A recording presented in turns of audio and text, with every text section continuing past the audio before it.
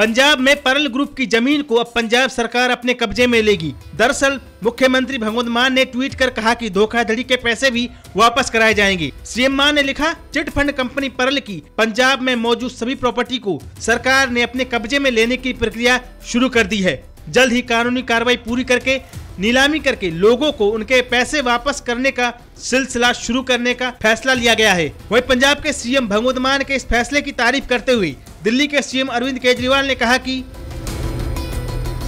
ये वो काम है जो आज तक कोई सरकार नहीं कर पाई, या उनकी नियत नहीं थी। पिछली सरकारें उस ग्रुप के साथ मिली हुई थी। अगर हम लाखों लोगों को उनके पैसे वापस दिलाने में कामयाब हो जाते हैं तो ये बहुत बड़ा काम होगा। उन लाखों लोगों की दुआएँ मिलेंगी। बता दें कि परल ग्रुप पर साठ हज़ार करोड़ रुपए की हेरा फेरी करने का आरोप है। जानकारी के मुताबिक इस कंपनी ने पूरे देश में पाँच करोड़ से ज़्यादा लोगों से निवेश करवाया, जिसके बाद लोगों को फर्जी लेटर देकर उनके पैसे हड़प गई।